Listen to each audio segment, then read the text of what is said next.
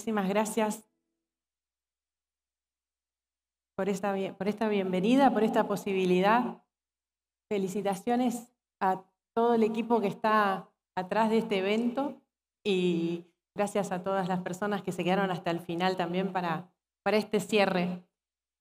Y un poco mi idea, además de compartir lo que dice el título, ¿no? El propósito del flow como llaves del bienestar, se me ocurrió hacer como una especie de síntesis de todo lo que recorrimos a lo largo de la jornada, porque ha sido como tan, tan intenso que viene bien a veces hacer un poquito de, de resumen. Y me gustaría empezar ese resumen por la frase que dice en el cuaderno que nos regalaron, ¿no? Piensa, cree, sueña y atrévete. Eso podría llegar a ser un, un gran, eh, una gran síntesis de todo lo que hablamos, de todo lo que se escuchó a lo largo de la jornada. Pero bueno, recorriendo un poquito, empezamos con el doctor Jorge, que como director le doy mi agradecimiento también por este evento, por las felicitaciones y bueno, todo lo que significa estar amplificando bienestar en toda la comunidad. Y bueno, nos dejaba este foco en pensar en que bienestar es estar centrados en la calidad de vida de las personas y de cómo llegar a hacer que ese bienestar transforme también la vida de las personas. Y, la única manera de transformar en una organización es si está centrado en la estrategia, ¿no? Y eso no es fácil de conseguir. Y realmente el estar hoy aquí es para mí un sueño hecho realidad, esto de creer, soñar y atreverse. Porque ahora yo les voy a ir contando un poquito, pero hace muchísimos años que yo soñaba con que las empresas, aunque sea por necesidad, ni siquiera por convicción, pero que aunque sea por necesidad, cambiaran su forma de pensar en relación a la gestión de personas y que se volcaran cada vez más a la salud y al bienestar. Y pensar que aquello que para mí era un sueño, hoy es una realidad tan grande que la estamos construyendo entre todos, realmente em, siento que, bueno, no, no le puedo pedir más a la, vida. Em, siguiendo con lo que estuvimos viendo hoy, realmente la posibilidad que nos dio también Alejandro Melamed, compatriota, eh, de pensar en el futuro del trabajo, que es el bienestar por donde pasa ese futuro del trabajo. Pensar que mm, el bienestar tiene que ver con que cada uno encuentre su lugar y que ese lugar lo lleve a la contribución eh, más auténtica a la organización. continuamos ese recorrido y nos trajo también eh, Alejandro el aspecto de cómo pasó al primer plano la salud y la salud mental. Otro sueño hecho realidad para mí, que como psicóloga siempre pensé en que si estábamos trabajando los psicólogos en un consultorio, si estábamos trabajando desde ese lugar, ya habíamos llegado tarde. Había mucho, mucho que hacer por la prevención y por la promoción de la salud. Y hoy en las organizaciones se esté poniendo en primera plana el tema de la salud emocional y mental es realmente también un gran avance, una gran evolución. Eh, seguíamos un poquito en, ese recorrido y mm, bueno, todo lo que nos trajo eh, Verónica en relación a la salud, a la salud física, a nuestro eje, a nuestras herramientas, algo tan simple y tan complicado de conectar como es la respiración, cómo nos da también calidad de vida trabajar en esa, en esa respiración que la tenemos ahí como, como muy olvidada, ¿no? Em, ¿Qué más? ¿Qué más pasó hoy en esta jornada? Tantas cosas. La mm, posibilidad de pensar en la antifragilidad también de la que habló Alejandro, ese concepto me pareció muy importante, esto de mostrarnos vulnerables, de, mostrarnos auténticos eh, y trabajar desde ahí. El panel, el panel de empresarios que nos regalaron esas experiencias maravillosas, sabiendo que esto es posible, porque si se pudo lograr en tres organizaciones de rubros o de giros de negocios tan diferentes, bueno, es posible que lo logremos en cualquier actividad. La verdad que la posibilidad de pensar, como dijo Ricardo, en curar esas enfermedades corporativas nos va a poner más del lado de la prevención. Lo que nos traía Andrés de poner al ser humano como centro eh, y que el centro sea el proyecto de vida de las personas, que desde una entidad médica se esté hablando así del ser humano, realmente es, conmovedor y muy alentador. Y que el propósito tiene que ser lo que debe ser conocido de las personas. Así que todo esto vino también a, cerrar, inclusive hasta con el video final de presentación de los procesos de headhunting que lleva a cargo, a eh, con FENALCO en la intención de conectar y de vincular a las personas con su mejor oportunidad.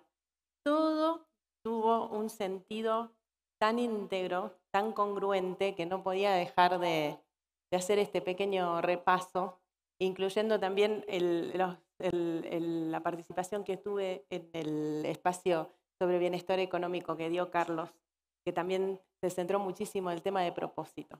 Así que bueno, vamos al tema entonces, propósito y flow como llaves del bienestar. Les quiero contar que realmente estoy agradecida y feliz y decirles por qué estoy tan feliz. Porque para mí la felicidad realmente tiene que ver con el bienestar y la dimensión del bienestar que tiene el aspecto espiritual, el bienestar espiritual. Y mm, estar en completo estado de bienestar espiritual para mí significa estar cumpliendo y viviendo mi propósito. Y eso es lo que me está pasando hoy aquí, en este momento. Pero con FENALCO también hace una declaración respecto de qué es el bienestar espiritual. Y nos dice que es la ampliación de sentido de propósito y significado en la vida. Entonces, qué desafío como líderes organizacionales, como líderes de gestión de personas y como personas simplemente, líderes sin cargo, como decía también haciendo referencia al libro esta mañana Alejandro, como líderes de nuestra vida, encontrar este camino hacia el bienestar espiritual.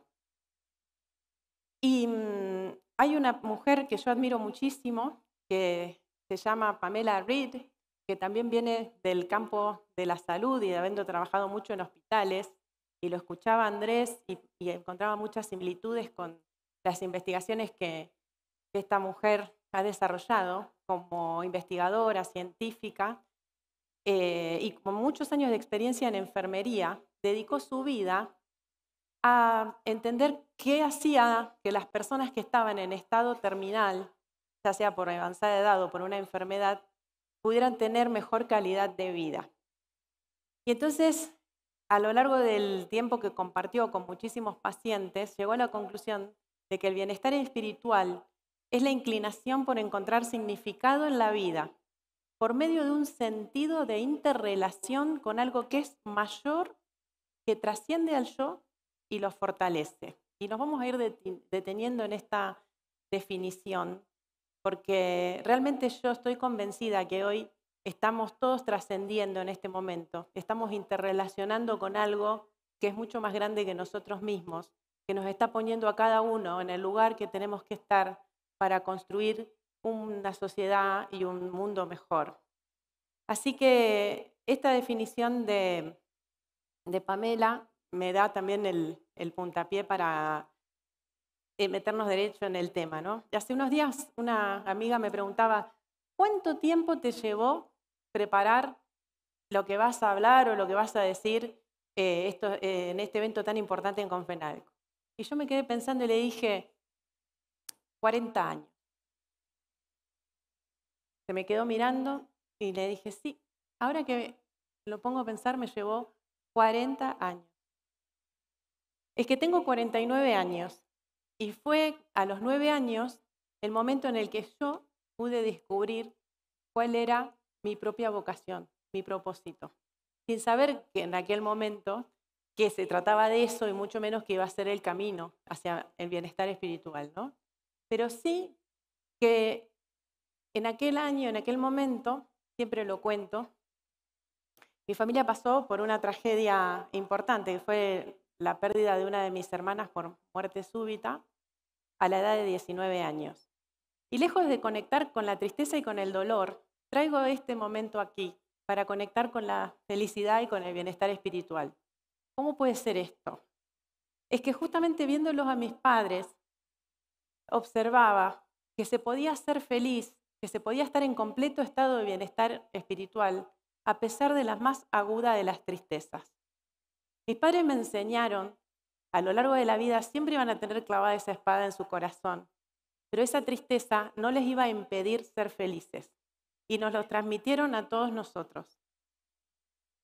La felicidad, el bienestar espiritual, es una condición humana y es una responsabilidad trabajar para desplegarla.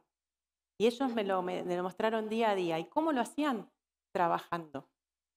Y entonces ahí yo me di cuenta que tenía que haber una profunda conexión entre el bienestar espiritual y el, trabajo, entre el vínculo que las personas establecemos con el trabajo. Y ahí nació mi vocación, sin saber cómo lo iba a hacer o qué iba a hacer. Yo quería que las personas fueran más felices en sus trabajos. Entonces, al terminar el secundario, eh, en un proceso de orientación vocacional, me di cuenta que ese podía ser el camino.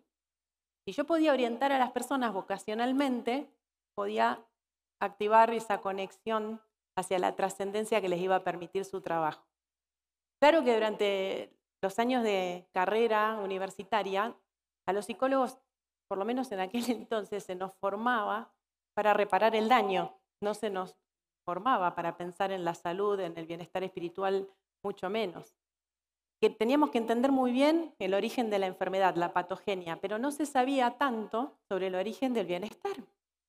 Entonces, buscando nuevas alternativas para entender esto, sí que encontré autores como Rogers, Frankl, Maslow, que sí se orientaban a fortalecer aquellos aspectos que tuvieran que ver con la trascendencia y con eh, el potencial del ser humano. Así que terminada la universidad, sí que me metí por el camino de las organizaciones y me transformé durante muchísimo tiempo en una selectora profesional, por eso me identifico tanto con los procesos de, de headhunting. Y hasta ahí sentí que entonces sí, ahí había encontrado el camino, ese podía ser el lugar, conectar a las personas con las oportunidades laborales y entonces, y entonces me di cuenta que había una pregunta que las personas que entrevistaba, de las cientos y cientos de personas que entrevisté durante más de 15 años que me desempeñé como selectora, una pregunta que las personas no podían responder en la mayoría de las veces. Eran muy pocas las veces que me podían responder a esa pregunta. La pregunta era la siguiente. ¿De qué forma esta oportunidad laboral, este puesto al que te estás presentando, este trabajo, va a contribuir a tu propósito? No importaba la función a la que se presentaban, si fuese joven profesional o un alto mando, una gerencia ejecutiva de alto nivel. Esta pregunta muy difícilmente encontraba respuesta. Y entonces ahí dije, todavía falta un poquito más. Todavía te falta un poquito más, Carolina, da una vuelta. Y me di cuenta que en mi rol de selectora podía devenir en alguien que ayudara a las personas a encontrar su propósito. Y es ahí donde empecé a trabajar en la primera de las dos llaves hacia el bienestar espiritual de las que vamos a estar hablando en este, en este rato. Pero antes de continuar por ahí, quiero abrir ya la segunda llave, que le dio como relevancia y como que me puso casi, les diría, en la obligación de seguir trabajando con el propósito, que fue el tema del flow.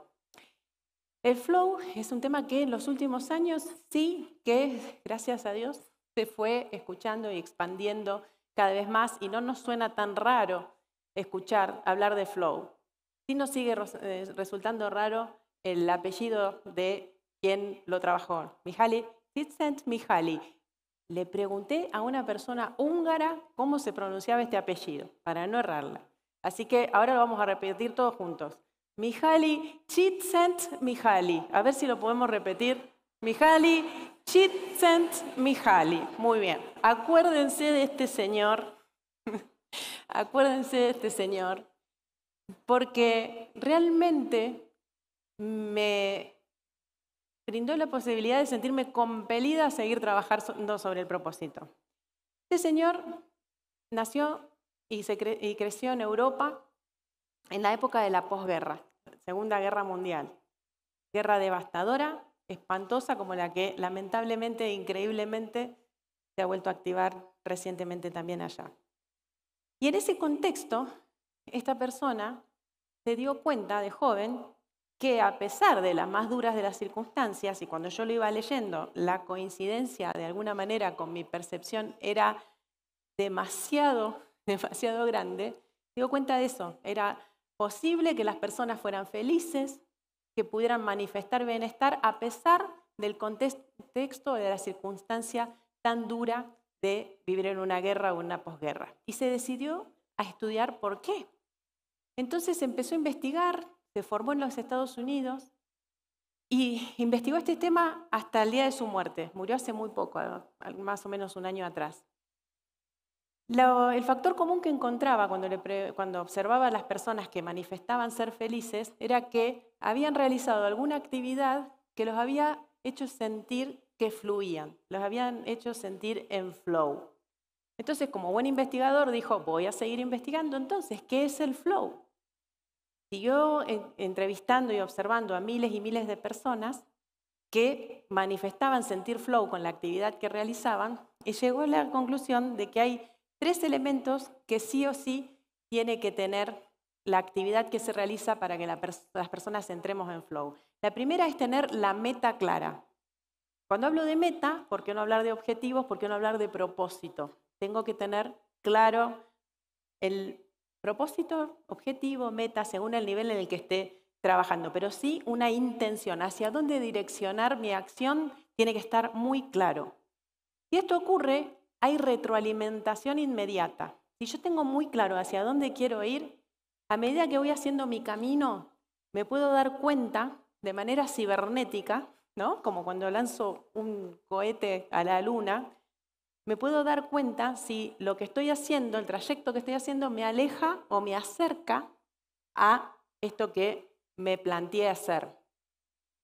Y a partir de ahí, lo que ocurre es que las habilidades requeridas para alcanzar esa meta están en equilibrio con el desafío que representa alcanzarla. Y ahora esto se los voy a explicar un poquito en un momento. Pero lo que ocurre cuando entramos en flow, cuando se dan estas, estas tres em, condiciones, que la persona siente que se despersonaliza, que el yo queda de lado, el ego queda de lado, las preocupaciones quedan de lado, solamente está compenetrado y abstraído en aquello que está haciendo. Se eleva de alguna manera y entra en este estado de fluir.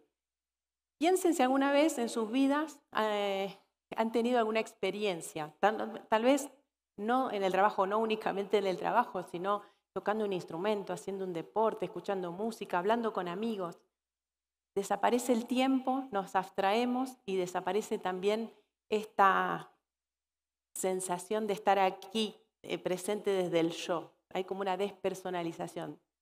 Entonces, cuando esto ocurre, las personas evalúan haber sido realmente felices o haber estado en un estado de bienestar. Entonces, este tema me apasionó y dije, con mayor razón es necesario seguir trabajando en el tema de propósito. Hay que ayudar a las personas a que encuentren su propósito de una manera simple, sencilla y rápida, además. Entonces, em, para trabajar un poquito más lo del flow es lo siguiente. Primero, a condición precursor para que ocurra el flow, meta clara, objetivo, propósito. Si eso ocurre, lo que descubre también este señor es que automáticamente aparecen oportunidades. Cuando hay meta, objetivo, propósito, aparecen las oportunidades. Cualquier situación en, la vida se me puede plantear como una oportunidad si yo tengo algo contra qué comparar, que es ese propósito. Muchas veces se escucha, escuchamos en, muchos países, sobre todo en nuestros países este, latinoamericanos, hay como una cosa de faltan oportunidades, faltan oportunidades. Y yo estoy totalmente en desacuerdo con eso. Lo que falta es meta, lo que falta es claridad de objetivo, lo que falta es propósito. Porque este científico descubrió que cuando eso ocurre, nuestra atención se dirige a que cualquier situación que nos rodee rápidamente se pueda volver una oportunidad, una oportunidad para algo. Si no hay meta, si no hay objetivo, si no hay propósito, van a pasar un montón de cosas, vamos a vivir un montón de situaciones, pero ninguna van a resultar una oportunidad. Entonces, agrega algo más. Tengo el propósito, aparece la oportunidad. Ejemplo, en el video de presentación institucional de la mañana veíamos testimonios de personas. Decía, un muchacho, me acuerdo, decía, creo que llamaba Esteban, el propósito de Esteban es desarrollar su emprendimiento. ¡Pum! Propósito. Automáticamente a Esteban se le van a ir presentando oportunidades en tanto que alguien le va a hablar de un proyecto de negocio, alguien le va a decir que hay una formación de emprendedores y a él le va a hacer sentido y va a sentir que eso es una oportunidad. ¿Una oportunidad para qué? Para desarrollar su emprendimiento. Si no, la oportunidad no, en sí misma como tal, no existe. Le damos entidad, la hacemos colapsar delante nuestro cuando hay un propósito. Entonces, el segundo momento de esto es que esa oportunidad se va a volver un desafío mayor o menor en función a las habilidades que yo tenga para aprovechar esa habilidad, esa oportunidad. ¿Vamos hasta ahí? Entonces, qué interesante, piénsenlo en el plano de las organizaciones, piénsenlo en sus equipos. Cuando yo traigo este modelo y lo trabajo en las organizaciones, en mis clientes, es realmente maravilloso lo que se produce, porque la gente empieza a encontrar oportunidades dentro del rol, del cual hasta hace un tiempo no le estaba haciendo significante eh, nada de lo que hacía. Entonces, si hay una oportunidad para poder alcanzar mi propósito y tengo las habilidades desarrolladas para aprovechar esa oportunidad, automáticamente lo que pasa es que entro en flow. En flow es este estado interno que se produce cuando la conciencia está ordenada armónicamente, cuando yo siento que me estoy direccionando hacia ese propósito y voy pudiendo retroalimentar. Entonces me siento involucrado, me siento implicado, porque esto que estoy haciendo es una oportunidad para alcanzar mi propósito y estoy poniendo en juego mis habilidades para lograrlo. Cuando la mm, variación de esto nos va dando una dinámica que para el desarrollo de personas en las organizaciones también es clave, porque a medida que aumentan mis habilidades, ese desafío, que puede ser mayor, también puede variar en función de que si el desafío es medio o bajo y mi habilidad es media o alta, me voy a aburrir. Tengo que activar un desafío mayor, una oportunidad distinta. Por el contrario, si el desafío es medio alto y mis habilidades van siendo medias altas, voy a activar otros estados internos más cercanos al flow. La activación y el entusiasmo, el control, la relajación se van a ir dando en función de que mis habilidades van creciendo en relación a el desafío que se me presenta. Entonces, claro que cada ser humano y cada colaborador esto lo tiene que trabajar y, vivir de manera única y exclusiva. Y ese es la clave con la que yo por lo menos vengo trabajando una nueva gestión del desempeño. El desempeño tiene que ver con que las personas vayan descubriendo oportunidades para alcanzar su propósito y puedan ir desarrollando habilidades para tomar ese desafío. Entonces, desde ahí fue como ya directamente una obligación empezar a trabajar en el propósito, porque nada de esto iba a ser posible si no estaba el precursor, el propósito, la meta, el objetivo. Y entonces ahí desarrollé lo que querían llamar el método de autorreconocimiento de propósito. Es un método en cinco pasos. Yo vengo, como les comenté, soy psicóloga, soy docente, soy consultora, pero vengo con una estructura y me encanta trabajar en procesos, ¿no? Procesos, la gestión de calidad, todo eso me ha atrapado siempre muchísimo y dije, esto tiene que ser un proceso. Y fue un proceso que, pude abstraer a partir del coaching de carrera dentro de empresas y por fuera también. Entonces, el primer paso es explorar los componentes de la misión personal. Uh, bueno, parece como algo súper abstracto. ¿Cómo vamos a estar armando la misión? ¿No? Sí, sí, se puede armar la misión con tres elementos que consolidé para ese proceso, que son las actividades que preferimos hacer y vamos a reivindicar lo que nos gusta sobre lo que no, no nos gusta. Hoy Vero nos hablaba de cómo nuestro cerebro nos protege a veces de aquellas cosas que, eh, a las cuales le tememos o a las cuales nos disgustan, porque estaba hecho para sobrevivir, ¿no? Pero acá la idea es poder reivindicar lo que nos gusta, porque está comprobado que nuestro cerebro consume muchísimo menos oxígeno cuando hacemos algo que nos gusta, a diferencia de cuando hacemos algo que no nos gusta. Y sin embargo, culturalmente, bueno, muy lindo eso que te gusta hacer, pero de eso no vas a vivir. Así que eh, dedícate a otra cosa, ¿no? No, hay que reivindicar lo que nos gusta porque es la única manera de poder identificar después qué habilidades tengo que desarrollar para realizarlo. No enfocarnos tanto en las habilidades que tenemos, que están buenísimas, pero no, nuestra misión no tiene que ver con que nos salga fácil hacer algo. Nuestra misión tiene que ver con otra cosa. Después vamos a poder desarrollar habilidades. La segunda, el segundo componente son los valores, trabajar en aquello que realmente es importante para nosotros. Y para conocer nuestros valores y nuestros valores esenciales hay que trabajar, hay que hacer ejercicios de reflexión, que son los que yo propongo en este método. Los valores son aquellas cuestiones que también nos protegen a lo largo de la vida son como un cinturón de seguridad. No, los, no sabemos que lo tenemos puesto, nos olvidamos, vamos manejando, pero cuando algo nos pasa y frenamos, ahí nos acordamos que está. ¿no? Y esta definición que me la dio una amiga hace mucho tiempo, Mónica, eh, la, la, llevo muy, muy incorporada, porque es así. Tenemos que reconocer cuál es nuestro cinturón de seguridad, cuáles son nuestros valores.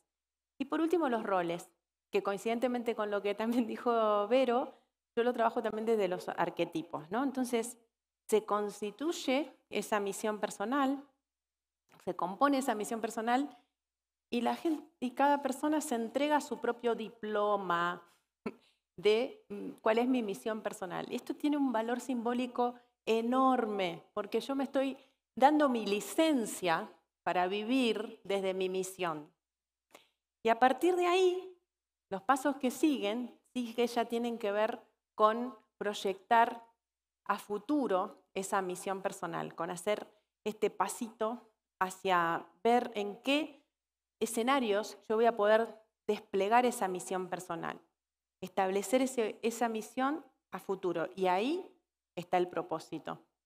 El propósito lo tengo que diseñar, lo tengo que analizar, tengo que ver a ver si hay riesgos o, o factibilidades que tengo que tener en cuenta e ir hacia la construcción de ese propósito y finalmente poder ir armando mi plan de acción. La misión es lo más perenne que tengo, desde donde yo me voy a iluminar todo el tiempo ese camino hacia el futuro. Y el propósito es este escenario en el cual yo estoy sintiendo que estoy cumpliendo con mi misión. Entonces, desde, desde esta propuesta de diferenciar esto de la misión del propósito, que muchas veces se trabaja como lo mismo. En mi caso, he hecho esta diferenciación. La misión plasma nuestros valores, cinturón, en un rol que disfrutamos, que nos permite trascender impactando favorablemente en los demás. Mientras que el propósito es la materialización de esa misión personal en una actividad específica, en un trabajo, en un proyecto.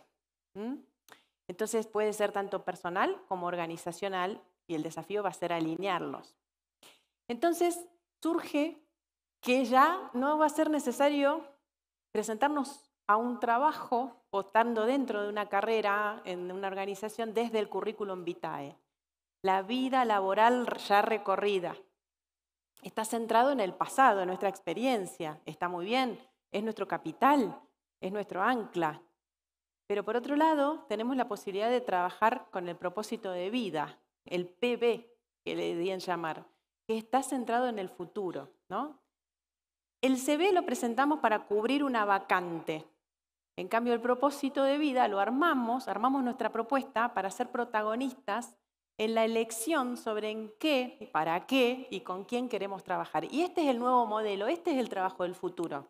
El trabajo del futuro necesita del CV, pero hay que incorporarle el PB, hay que ir hacia adelante. Y la verdad que es un proyecto en el que vengo trabajando bastante, de que toda la gente que haya hecho eh, su trabajo sobre propósito ahora se vinculen a través de una plataforma para que puedan asociarse y generar proyectos por propósito ya teniendo en claro este recorrido. ¿no? Son nuevas organizaciones, nuevas formas de vincularse. Y entonces sí, si eso ocurre, se van a formar organizaciones teleológicas. La teleología, sin ser una erudita en la filosofía, que no lo soy, pero sí me tomé de Aristóteles, esta palabra que le da nombre a la disciplina que se enfoca en el devenir de las cosas, en las causas finales. Entonces, tanto las personas somos teleológicos, nos orientamos hacia un devenir, hacia una transformación en aquello para lo cual estamos aquí, como las organizaciones pueden ser teleológicas. Esto de que personas se asocien en un proyecto por propósito o que la organización tal cual está se transforme hacia un modelo teleológico. Las organizaciones teleológicas promueven claridad respecto de lo que se espera de las personas en su rol, para que puedan alinear sus propósitos con los de la organización. Las organizaciones teleológicas establecen roles o le dan una dinámica a los roles para que reflejen la identidad de quien los desempeña. Y está alineado a sus intereses y valores. Entonces hay un trabajo muy artesanal, ¿no? También en, alguna bibliografía esto se empieza a llamar job crafting, la artesanía del rol, de que ese rol ya cada vez refleje más a la persona. Y además, las oportunidades para que las personas desplieguen sus habilidades que estén guiadas y orientadas por sus propósitos, como nos, eh, nos dice la teoría del flow. Entonces, fíjense que inclusive las resoluciones que se han dado aquí también en, Colombia, el Ministerio de Protección Social creo que fue que, las eh, determinó, cómo todo esto va a contribuir al riesgo psicosocial, a poner a las personas en, em, en organizaciones que atiendan ciertas condiciones que se tienen que dar para que las personas no entren en riesgo psicosocial, para que las personas sepan que la organización del trabajo y la gestión está ordenada para contemplar esa interfaz entre persona y trabajo. Eso es lo que dice esa, esa resolución 2646, creo que es. Entonces, hay sistema, hay normativa que acompaña estos procesos. ¿no? Inclusive, eh, volviendo al tema de la protección de la salud, de la cual nos estuvimos ocupando a lo largo de toda la jornada, hay investigaciones que se realizaron aquí mismo en, Colombia, ¿eh? la Universidad de Manizales, profesores como em, Francisco Escobar y Angélica Velázquez, pudieron estudiar cómo el burnout, estar quemado en el trabajo, no tiene tanto que ver con la sobrecarga de trabajo, sino con dos factores. las bajas oportunidades que tienen las personas para su promoción y su desarrollo. Eso genera más burnout que la carga laboral. Y la segunda condición es la sensación de que se les restringe las posibilidades de formación y de evolución. Los dos elementos del flow, oportunidades y formación. Entonces, todo esto está como muy, muy fundamentado desde muchos lugares como para poder pensar que realmente lo que yo imaginaba hace muchos años que tenía que ser un mundo en el que el bienestar de las personas estuviera como primero en la gestión de las empresas, realmente hoy está siendo una, una realidad súper eh, sustentada desde muchos lugares. El modelo a nivel organizacional que yo les propongo, a mí me gusta mucho contar lo que, lo que yo hago, ¿no? el tema de, de no tener mucho secreto, que es aplicar el conocimiento que pude haber ido adquiriendo, pero me gusta aterrizarlo, aplicarlo y pensar que hay otro modelo, así como está el MAP para las personas, que haya otro modelo para las organizaciones. Le di a llamar modelo meta, modelo esencial de trabajo alineado, en donde lo primero que tenemos que tener en claro entonces es que esta integración de la cual estuvimos hablando toda la jornada, de que el propósito personal esté alineado al propósito organizacional, tenga un paso a paso para alcanzarse. Si primero ayudamos a la persona a que consiga su propio perfil por propósito, su perfil autotélico, hacia qué quiere devenir esa persona. Si esclarecemos los procesos y las funciones esto que decíamos, claridad en el rol, que haya especificaciones sobre de qué manera ese rol contribuye a un proceso. Y si esto está alineado a lo que la organización ha definido como visión, misión y valores, como comentaban hoy los, em, eh, los ejecutivos de empresa, ¿no? muchas veces son carteles que quedan en la pared y nadie los conoce. Pues no, lo primero que tenemos que hacer tal vez, muchas veces se invierte muchísimo dinero en grandes consultorías, en, gestiones, en estrategia. Empecemos a ver si las personas en la organización conocen realmente cuál es la misión, la visión y los valores de la organización. Además, en, chequemos si entienden de qué se trata, porque a veces son tan románticas y tan poéticas que quedan como en una abstracción.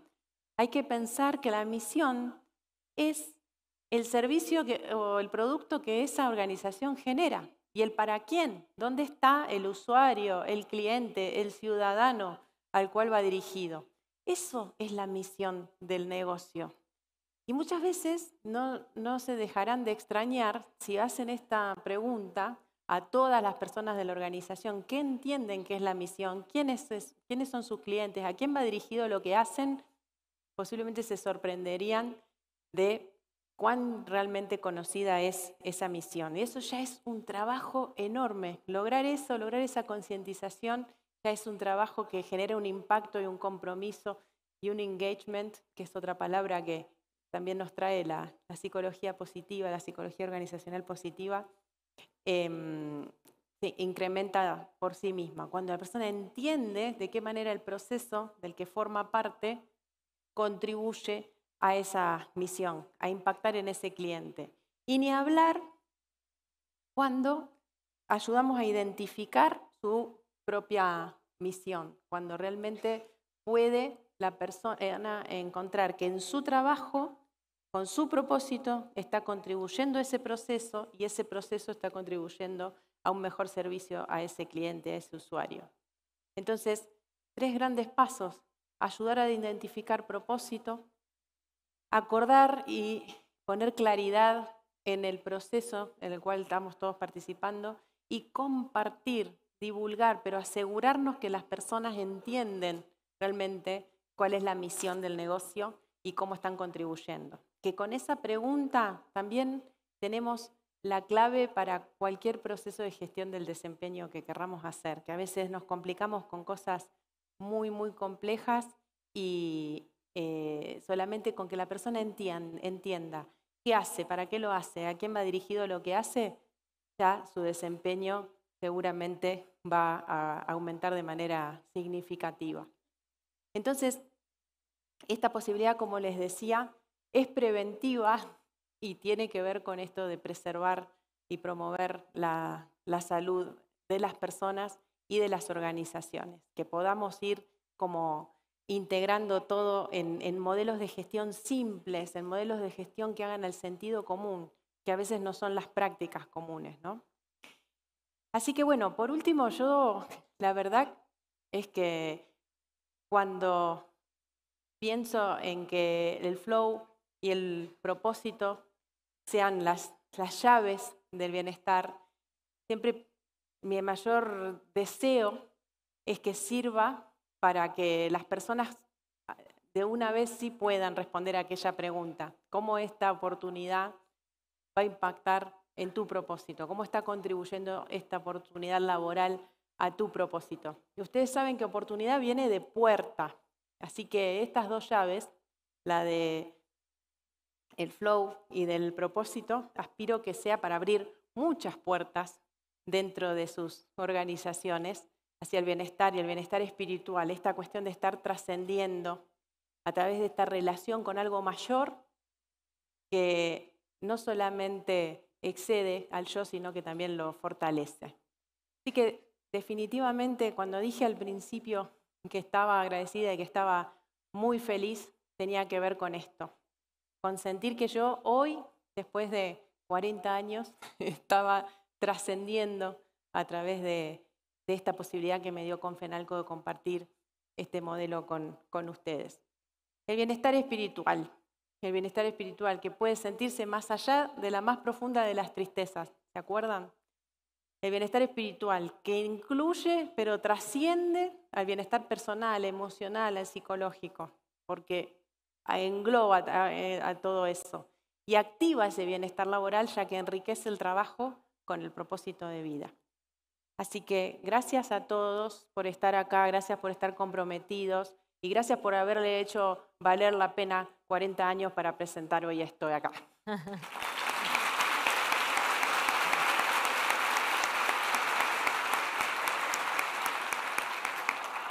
Carolina, gracias, mil gracias. Vamos a aprovechar para hacer por lo menos una o dos preguntas. Quisiéramos que el público también aprovechara la oportunidad de tener a Carolina aquí. Tenemos habilitados nuevamente los micrófonos en los pasillos y los invitamos para quien tenga preguntas, comentarios, dudas u opiniones, que sea el momento para que las expresemos a través de los micrófonos. ¿Alguien que quiera compartir alguna inquietud eh, con Carolina, aprovechando que la tenemos por aquí? Por allí. El micrófono está eh, en el costado de allá del pasillo. Muy bien.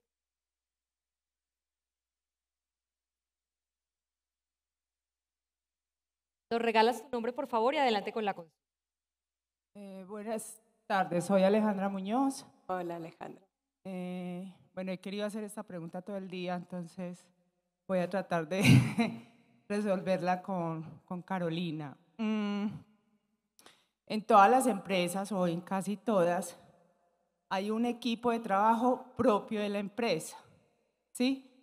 Pero hay otros por los servicios tercerizados que eh, ejercen su labor en la empresa pero que no son de la empresa. Pues todo muy paradójico. Pero sin embargo, eh, nos ayudan a nosotros a adelantar los propósitos de esa empresa. ¿Cómo hacer para conciliar ¿sí?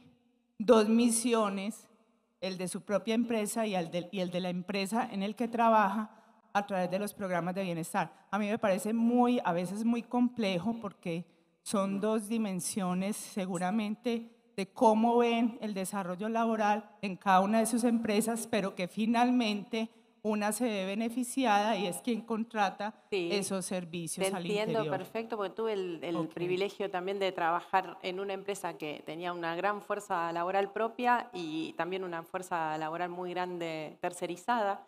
Y mm, mira, te lo cuento con un ejemplo de algo que fue increíble. Por aquellos años había un conflicto gremial muy fuerte eh, eh, se estaba construyendo un puente muy importante en la ciudad donde yo vivía, la ciudad de Rosario, la tierra de Messi, eh, que unía dos provincias.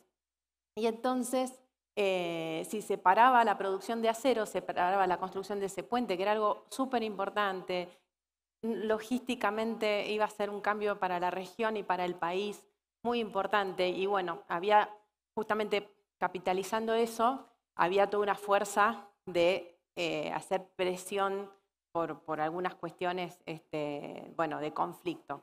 Y la persona que, que la directora de recursos humanos en ese momento dijo, listo, vamos a hacer lo siguiente. El mayor conflicto estaba en la, provincia de San Luis, que era bastante lejos de donde se estaba construyendo el puente. Vamos a poner en un, nosotros lo llamamos colectivo, en un bus, a todos los empleados que están ahí y los vamos a, llevar a ver esa gran obra de, de infraestructura. Y mm, cuando llegaron ahí los operadores y vieron de lo cual estaban haciendo parte, ellos en sus, en sus máquinas estaban generando la producción de, los recursos y de los elementos para, para semejante obra, se terminó el conflicto. ¿Por qué creen que se terminó el conflicto? Entendieron que propios o no propios a la empresa estaban todos construyendo algo que estaba aportando a algo que era mucho más grande que cada uno de ellos, que la empresa, una u otra, y que eh, los, intereses de ambos lados. ¿no? Esto de, ¿para qué estás haciendo lo que haces? Independientemente de que estés contratado para hacer esto en esta empresa, ¿quién es tu cliente? ¿Quién está esperando tu servicio? ¿Quién es tu usuario? Automáticamente las personas, cuando entendemos qué sentido, cuál es el propósito de lo que estamos haciendo, hay un, hay un cambio de mentalidad que eh, es eh, irrefrenable. recomiendo eso, que se vuelvan a conectar con el cliente que está esperando aquello que, les proveen, sean propios o tercerizados. ¿Alguien más? Por allí tenemos nuevamente una pregunta. Adelante. Buenas tardes, mucho gusto. Mi nombre es Daniel Pavón de Confenalco Antioquia. Hola, Daniel. Eh, me llama mucho la atención la manera como generabas alineación en propósito, ascendente, ¿no? Desde lo individual proceso, organización, ¿cierto? Eh, si partimos de que el flow parte de identificar claramente la meta y la contribución que se espera de cada uno, ¿cómo alinear esa definición individual y parte de abajo frente al reto organizacional que se espera en contribución? Porque si yo parto de abajo, seguramente lo que en propósito quiere ese individuo no está alineado con lo que quiere la organización en resultados. Bueno, por eso te digo que es, la clave de la gestión del desempeño. Decir, a ver, eh, ¿estás entendiendo cuál es el propósito organizacional? ¿Cómo está impactando tu, tu trabajo en atender ese cliente, ese usuario? Entonces, a partir de ahí poder entender si su rol realmente está contribuyendo a eso y si, si, y si ese rol está relacionado con su propósito. Pero la persona primero tiene que conocer y trabajar su propósito. En un proceso de, yo tengo este método, pero hay un montón más de coaching de propósito y poder hacer esa alineación. Eso yo lo he trabajado en industria farmacéutica en México, con altos ejecutivos en, Chile, con eh, jóvenes profesionales insertándose. Trabajar el propósito para alinearlo al, al rol en cualquier nivel, eh, pero hay que dedicarle un, tiempo y, es el tiempo mejor invertido. Una última pregunta o consulta. Bien, un muy, pero muy fuerte aplauso, por favor, para Carolina Casiano. Bueno, con flow, no con flow, hay que estar bien contentos en este momento de cierre. De verdad que eh, de mi parte, como colaboradora de Confenalco Antioquia, eh, queremos agradecerles inmensamente todos nosotros que estuvimos preparando este evento con mucho amor y con mucho cariño para todos ustedes. Eh, de parte de nuestro director, que sabemos que es quien dirige esta orquesta, hoy lo aprendimos, nuestro comité de gerencia, agradecerles inmensamente por estar acá, por haber aceptado esta invitación para conversar sobre bienestar. De verdad esperamos que este encuentro eh, pues, nos haya servido para reflexionar, para pensar, pero también para comprometernos, para sumar esfuerzos en nuestras organizaciones, voluntades y propósitos, y para que esto se convierta en planes, en planes corporativos y en planes organizacionales que se vuelvan acción. Eh, como lo hemos visto hoy durante todo el día y como mm, bastante lo hemos conversado, nosotros estamos convencidos que si propiciamos ese bienestar colectivo integral, estaremos no solo dando un paso gigante en ese reto que como empresa tenemos, de contribuir a una construcción de una mejor sociedad.